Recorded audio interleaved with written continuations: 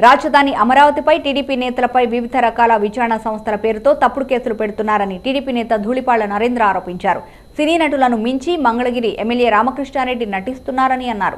రాజకీయ ప్రేరేపిత కేసులు నమోదు చేస్తున్నారని ఆరోపించారు.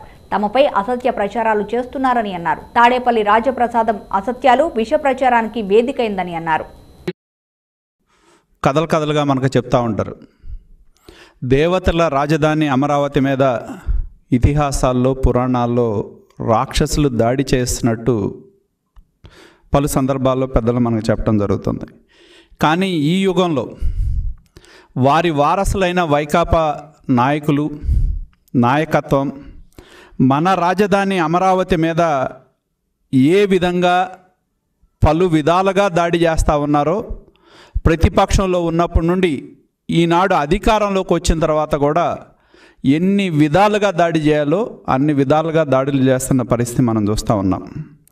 అధికారాన్ని అడ్డం పెట్టుకొని వేల కోట్ల రూపాయలు దోచుకున్న డబ్బుతో పెట్టిన విసపు సాక్షి ద్వారా అసత్య ప్రచారాలు చేయటం నిరంతర ప్రక్రియగా మారిన పరిస్థితి మనం చూడటం జరిగింది. ఉన్నవి లేనట్టు లేనివి ఉన్నట్టు కల్పించి మనం చూడటం జరిగింది.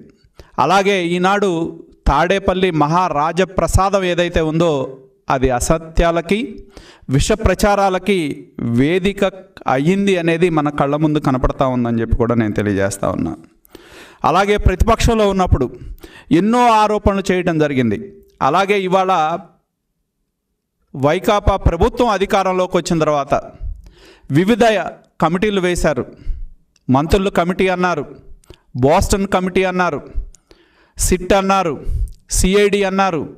సిఐడి ద్వారా పలు పలు రకాల కేసులు ఎన్ని రకాల ఎంక్వైరీలు అమరావతి మీద వెయ్యాలో అన్ని రకాల ఎంక్వైరీలు ప్రభుత్వంలో పెద్దలు. తాము చేసిన ఆరోపణలు సత్యదూరమైనవి అని నిర్ధారణ అయిన తర్వాత వివిధ రకాల ఏజెన్సీలతో తప్పుడు కేసులు ఏ విధంగా పెడతా ఉన్నారో మనం చూడటం జరుగుతూ ఉంది. ఇవన్నీ కూడా మన కళ్ళ ముందు స్పష్టంగా కనపడతా ఉన్నాయి. రాజకీయ ప్రేరేపితమైన కేసులు అనేది కూడా స్పష్టంగా మనకు కనపడతా ఉంది. నాకు చాలా ఆశ్చర్యం కలుగుతూ ఉంది.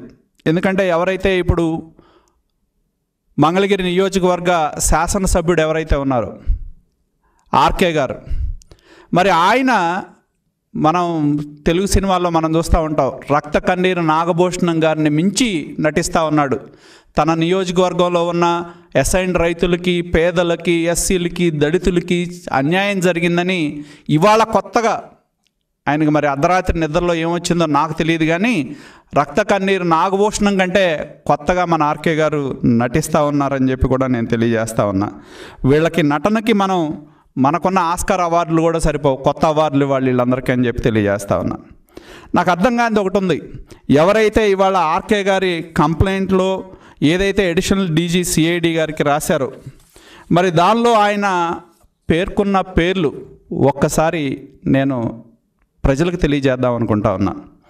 ఒకటి అద్దేపల్లి సాంబశివరావు రెండు ఈపూరు సుబ్బాయమ్మ మూడు పచ్చల చినలక్ష్మయ్య నాలుగు కాందారి పావని ఏం చెప్తా ఉన్నారు ఆర్కే గారు తన కంప్లైంట్లో?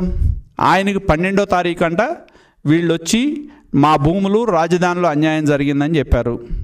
దాని మీద ఈయన సమాచారాన్ని సేకరించారంట. సేకరించిన తర్వాత తన దగ్గర ఇంకొక వ్యక్తి ఉన్నాడు. ఎవరంటే నేను జస్ట్ కనుక్కున్నా. ఎవరో ఆ మండలంలో ఈయన ఎంత గొప్ప వ్యక్తి అని చూస్తే Jupudi Johnson son of Jacob Duggirala.